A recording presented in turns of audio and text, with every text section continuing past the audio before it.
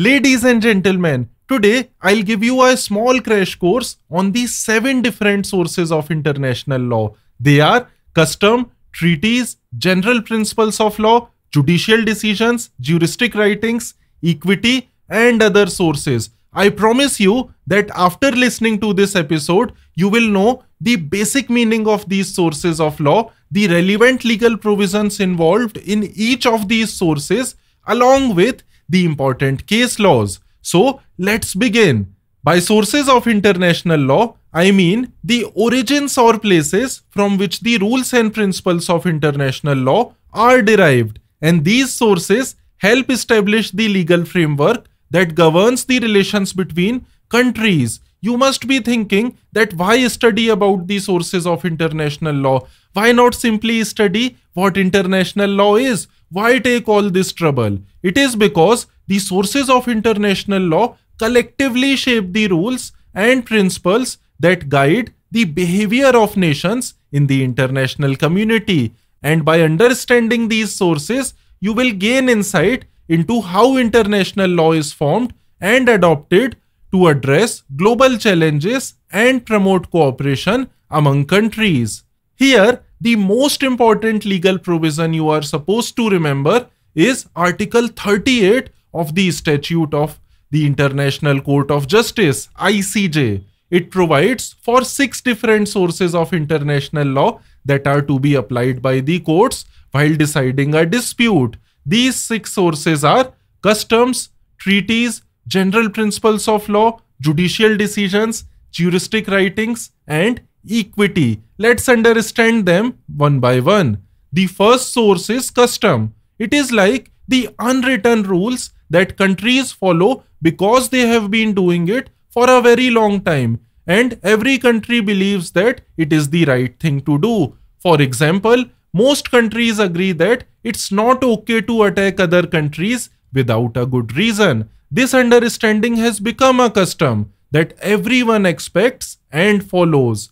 Even though there might not be a specific written agreement or law, it's understood that attacking another country without a good reason is impermissible in international law. Malcolm Shaw, a famous writer on international law, defines custom as a long established and commonly adopted practice that has acquired the force of law. Thus, even if something is not a law in the traditional sense of the term, still if it is treated or equated with a law, then it could be said that it has acquired the force of law. You are also required to know that there are two preconditions that need to be met before a custom becomes a valid custom in international law, state practice and opinio juris. These reflect the manner in which states behave and incorporate the custom into their own law. To know more about state practice and opinio juris, please watch my earlier episode, the link for which has been provided in the description below. Now, broadly speaking, there are three types of customs general, regional, and local. General customs are followed universally in most places and jurisdictions. Regional customs are rules that bind only a particular group of states in a particular region. For example, North America may have its own regional customs distinct from South America or Asia or Europe. And local customs are rules that bind only a small number of states in a limited geographical area. Like India, Pakistan, and Sri Lanka may have a local custom that may not be followed elsewhere.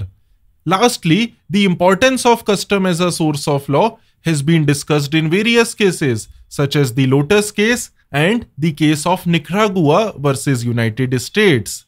The next source of international law that you should know is treaty. It has been defined in Article 2A of the Vienna Convention of Law of Treaties 1969 VCLT as an international agreement concluded between states in written form and governed by international law. Thus, essentially, a treaty is a written agreement between two or more countries and is subjected to various principles of international law. The nomenclature of treaties is immaterial and you may call it as an agreement or a pact or a convention or a protocol or a charter or any other similar term. You should also know that a treaty between two nations is called a bilateral treaty and a treaty between two or more nations is called a multilateral treaty. Sometimes even non-state actors may also become part of a treaty. A good example is Paris Agreement on Climate Change where civil society organizations such as the Climate Action Network can become a part of it. Here, you must also know that all the treaties must be observed and performed in good faith. This is called the principle of pacta sunt servanda. It has been provided in Article 26 of VCLT. To know more about pacta sunt servanda, please watch my earlier episode. Now there are various examples of treaties such as the Antarctic Treaty of 1959, Patent Law Treaty of 2000, VCLT of 1969, Kyoto Protocol of 1997. And the relevance of these treaties as a source of international law has also been discussed in many cases, such as the North Sea Continental Shelf case.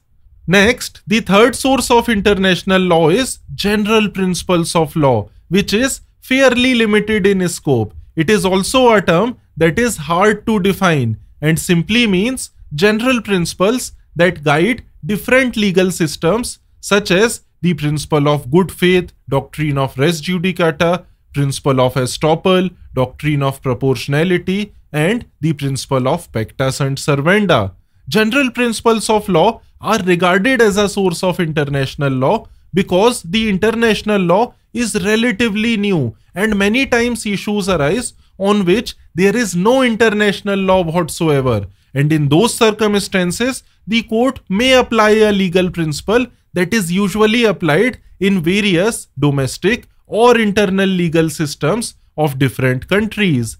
Further, these general principles have also been applied in plethora of cases to fill the uncovered gaps arising in international law from time to time. Some of the pertinent cases are Chorzów factory case, German settlers in Poland case, and the Corfu Channel case. The fourth source of international law is judicial decisions. It means the judgments and orders that are passed by the international courts on different matters at different points of time. You should know that Article 38 of ICJ statute regards judicial decisions as a subsidiary means of determining law. What do we mean by subsidiary means? It means a secondary source of law rather than an actual source of law, a source of law that is at a lower pedestal.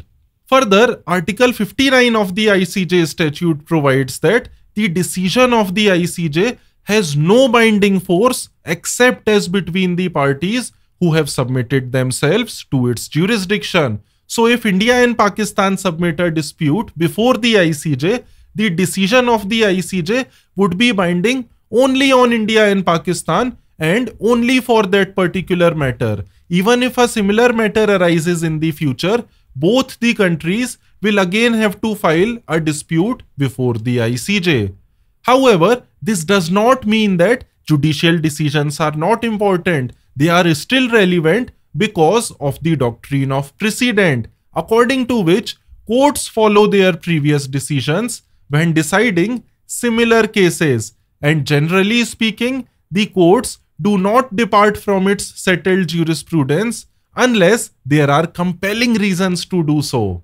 And the importance of judicial decisions as a source of law has also been discussed in many cases, like the Genocide Convention case, the Nottebohm case, and the case of Cameroon versus Nigeria.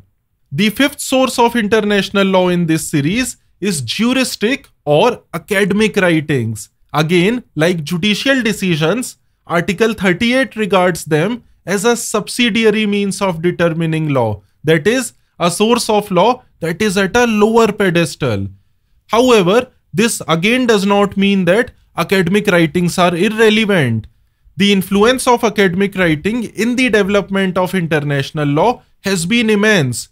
Scholars such as Gentili, Hugo Grotius, Vattel, and Pufendorf were considered as the supreme authorities of their times on international law. However, with the rise in the number of international treaties, the significance of academic writings has definitely reduced to an extent. Nevertheless, good books on international law are still being cited by the lawyers before the international courts and whenever a new branch of international law is to be developed, the academic writers play an important role in giving proper shape to it. Some of the pertinent examples of juristic and academic writings are the Oxford Handbook of International Law and the famous book of The Law of Nations by Emer de Vattel. Now, the sixth and the last source of international law as per Article 38.2 of the ICJ statute is equity. Actually, the term used in Article 38 is a Latin term ex et bono that literally means as per what is equitable and good. It basically means the body of principles constituting what is fair and right and represents the various values present in a legal system. It includes principles and doctrines such as rule of law, natural justice, peaceful coexistence, and other similar principles. Honestly, I find the principles of equity to be quite similar to general principles of law. Nevertheless, the ICJ statute has made a distinction between the two, so that is why we should uh, study them. And like other sources of law, the principles of equity have also been applied consistently by the international courts in various cases, such as the Rann of Kutch arbitration between India and Pakistan in the year 1968, North Sea continental shelf cases, and the legality of the threat or use of nuclear weapons advisory opinion case. Further, Apart from the just discussed six sources of international law, there are some other sources of international law as well that have not been recognized under Article 38 of the ICJ statute. Yet, they are liable to be considered as valid sources of international law. These other sources of international law generally evolve in development of new laws and from new interpretations of existing laws. Some of the key examples are UN Security Council resolutions. You would be surprised to know that these resolutions are considered as binding by virtue of Article 24 and 25 of the UN Charter, according to which the members of United Nations must accept and carry out the decisions of the Security Council. So now you understand why Security Council is considered as more important than the General Assembly of United Nations.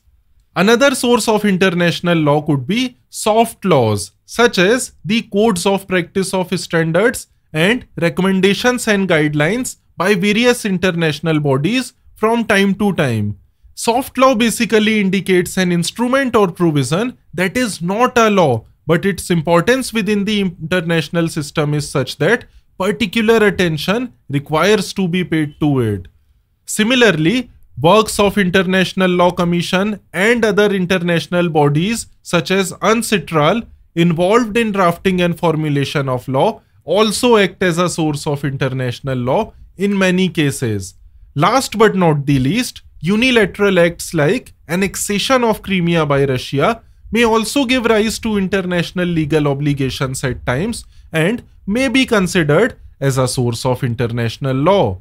So that was all about the sources of international law in nutshell. I hope you enjoyed listening to the show and please do not forget to like and subscribe. See you next time. Till then, stay tuned.